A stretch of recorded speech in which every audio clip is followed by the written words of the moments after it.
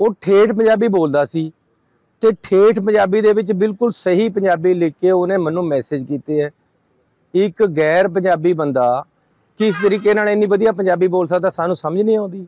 ਮੈਨੂੰ ਪਤਾ ਨਹੀਂ ਲੱਗੇਗਾ ਕਿ ਜੀ ਇਹ ਕਿਹੜੀ, ਮੈਂ ਤਾਂ ਬੰਦੇ ਦਾ ਕਈ ਵਾਰ ਸ਼ਕਲ ਦੇਖ ਕੇ ਦੱਸ ਦਿੰਦਾ ਕਿ ਇਹ ਕਿਹੜੀ ਸਟੇਟ ਦਾ ਰਹਿਣ ਵਾਲਾ ਹੈ ਜਾਂ ਕਿਹੜੀ ਬੋਲੀ ਬੋਲਣ ਵਾਲਾ ਜਾਂ ਕਿਹੜੀ ਬਰਾਦਰੀ ਦਾ ਬੰਦਾ ਹੈ। ਇਹ ਮੈਨੂੰ ਕਿਆ ਪਤਾ ਨਹੀਂ ਲੱਗਿਆ ਕਿ ਉਹ ਬੰਦਾ ਕੌਣ ਹੋ ਸਕਦਾ। ਇਹ ਬੰਦਾ ਨਹੀਂ ਆ ਉਹ। ਇਹ ਬਿਲਕੁਲ ਹੀ ਡਰਾਮੇਬਾਜ਼ੀ ਹੈ। ਇਹਦਾ ਬੰਦੇ ਦਾ ਆਪ ਹੀ ਉਹ ਦੱਸ ਰਹੇ ਕਿ ਕੋਈ ਕ੍ਰਿਮੀਨਲ ਬੈਕਗ੍ਰਾਉਂਡ ਨਹੀਂ।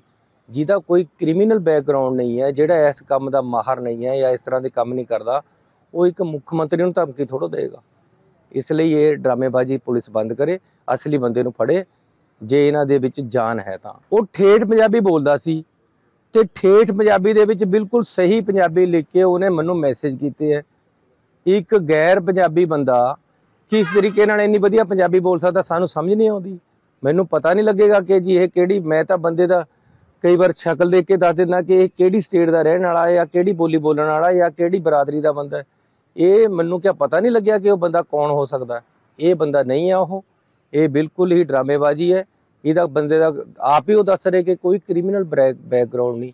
ਜਿਹਦਾ ਕੋਈ ਕ੍ਰਿਮੀਨਲ ਬੈਕਗ੍ਰਾਉਂਡ ਨਹੀਂ ਹੈ, ਜਿਹੜਾ ਇਸ ਕੰਮ ਦਾ ਮਾਹਰ ਨਹੀਂ ਹੈ ਜਾਂ ਇਸ ਤਰ੍ਹਾਂ ਦੇ ਕੰਮ ਨਹੀਂ ਕਰਦਾ ਉਹ ਇੱਕ ਮੁੱਖ ਮੰਤਰੀ ਨੂੰ ਧਮਕੀ ਥੋੜੋ ਦੇਗਾ ਇਸ ਲਈ ਇਹ ਡਰਾਮੇਬਾਜ਼ੀ ਪੁਲਿਸ ਬੰਦ ਕਰੇ, ਅਸਲੀ ਬੰਦੇ ਨੂੰ ਫੜੇ, ਜੇ ਇਹਨਾਂ ਦੇ ਵਿੱਚ ਜਾਨ ਹੈ ਤਾਂ। ਉਹ ਠੇਠ ਪੰਜਾਬੀ ਬੋਲਦਾ ਸੀ ਤੇ ਠੇਠ ਪੰਜਾਬੀ ਦੇ ਵਿੱਚ ਬਿਲਕੁਲ ਸਹੀ ਪੰਜਾਬੀ ਲਿਖ ਕੇ ਉਹਨੇ ਮੈਨੂੰ ਮੈਸੇਜ ਕੀਤੇ ਹੈ।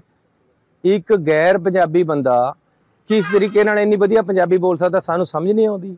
ਮੈਨੂੰ ਪਤਾ ਨਹੀਂ ਲੱਗੇਗਾ ਕਿ ਜੀ ਇਹ ਕਿਹੜੀ, ਮੈਂ ਤਾਂ ਬੰਦੇ ਦਾ ਕਈ ਵਾਰ ਸ਼ਕਲ ਦੇਖ ਕੇ ਦੱਸ ਦਿੰਦਾ ਕਿ ਇਹ ਕਿਹੜੀ ਸਟੇਟ ਦਾ ਰਹਿਣ ਵਾਲਾ ਹੈ ਜਾਂ ਕਿਹੜੀ ਬੋਲੀ ਬੋਲਣ ਵਾਲਾ ਜਾਂ ਕਿਹੜੀ ਬਰਾਦਰੀ ਦਾ ਬੰਦਾ ਹੈ। ਇਹ ਮੈਨੂੰ ਕਿਆ ਪਤਾ ਨਹੀਂ ਲੱਗਿਆ ਕਿ ਉਹ ਬੰਦਾ ਕੌਣ ਹੋ ਸਕਦਾ? ਇਹ ਬੰਦਾ ਨਹੀਂ ਹੈ ਉਹ। ਇਹ ਬਿਲਕੁਲ ਹੀ ਡਰਾਮੇਬਾਜ਼ੀ ਹੈ। ਇਹਦਾ ਬੰਦੇ ਦਾ ਆਪ ਹੀ ਉਹ ਦੱਸ ਰਿਹਾ ਕਿ ਕੋਈ ਕ੍ਰਿਮੀਨਲ ਬੈਕਗ੍ਰਾਉਂਡ ਨਹੀਂ। ਜਿਹਦਾ ਕੋਈ ਕ੍ਰਿਮੀਨਲ ਬੈਕਗ੍ਰਾਉਂਡ ਨਹੀਂ ਹੈ, ਜਿਹੜਾ ਇਸ ਕੰਮ ਦਾ ਮਾਹਰ ਨਹੀਂ ਹੈ ਜਾਂ ਇਸ ਤਰ੍ਹਾਂ ਦੇ ਕੰਮ ਨਹੀਂ ਕਰਦਾ, ਉਹ ਇੱਕ ਮੁੱਖ ਮੰਤਰੀ ਨੂੰ ਧਮਕੀ ਥੋੜੋ ਦੇਗਾ ਇਸ ਲਈ ਇਹ ਡਰਾਮੇਬਾਜ਼ੀ ਪੁਲਿਸ ਬੰਦ ਕਰੇ, ਅਸਲੀ ਬੰਦੇ ਨੂੰ ਫੜੇ। ਜੇ ਇਹਨਾਂ ਦੇ ਵਿੱਚ ਜਾਨ ਹੈ ਤਾਂ। ਉਹ ਠੇਠ ਪੰਜਾਬੀ ਬੋਲਦਾ ਸੀ। ਤੇ ਠੇਠ ਪੰਜਾਬੀ ਦੇ ਵਿੱਚ ਬਿਲਕੁਲ ਸਹੀ ਪੰਜਾਬੀ ਲਿਖ ਕੇ ਉਹਨੇ ਮੈਨੂੰ ਮੈਸੇਜ ਕੀਤੇ ਹੈ।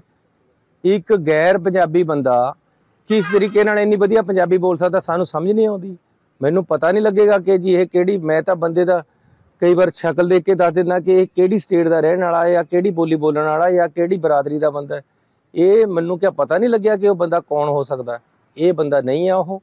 ਇਹ ਬਿਲਕੁਲ ਹੀ ਡਰਾਮੇਬਾਜ਼ੀ ਹੈ। ਇਹਦਾ ਬੰਦੇ ਦਾ ਆਪ ਹੀ ਉਹ ਦੱਸ ਰਹੇ ਕਿ ਕੋਈ ਕ੍ਰਿਮੀਨਲ ਬੈਕਗ੍ਰਾਉਂਡ ਨਹੀਂ। ਜਿਹਦਾ ਕੋਈ ਕ੍ਰਿਮੀਨਲ ਬੈਕਗ੍ਰਾਉਂਡ ਨਹੀਂ ਹੈ, ਜਿਹੜਾ ਇਸ ਕੰਮ ਦਾ ਮਾਹਰ ਨਹੀਂ ਹੈ ਜਾਂ ਇਸ ਤਰ੍ਹਾਂ ਦੇ ਕੰਮ ਨਹੀਂ ਕਰਦਾ, ਉਹ ਇੱਕ ਮੁੱਖ ਮੰਤਰੀ ਨੂੰ ਧਮਕੀ ਥੋੜੋ ਦੇਗਾ ਇਸ ਲਈ ਇਹ ਡਰਾਮੇਬਾਜ਼ੀ ਪੁਲਿਸ ਬੰਦ ਕਰੇ, ਅਸਲੀ ਬੰਦੇ ਨੂੰ ਫੜੇ, ਜੇ ਇਹਨਾਂ ਦੇ ਵਿੱਚ ਜਾਨ ਹੈ ਤਾਂ।